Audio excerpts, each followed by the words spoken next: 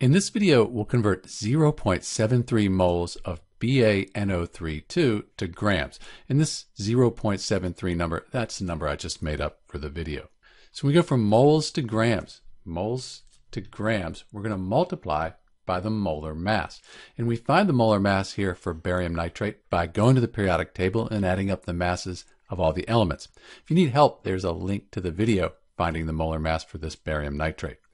So we're going to multiply our moles here by the molar mass to get grams.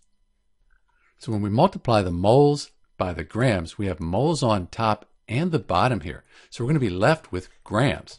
And that gives us 190.79 grams of barium nitrate.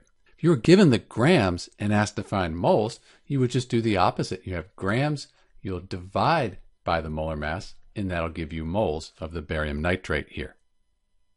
To recap, we took our moles and we multiplied by the molar mass. Our units canceled out, so we know we have the right answer. This is Dr. B converting moles of BaNO32 to grams. Thanks for watching.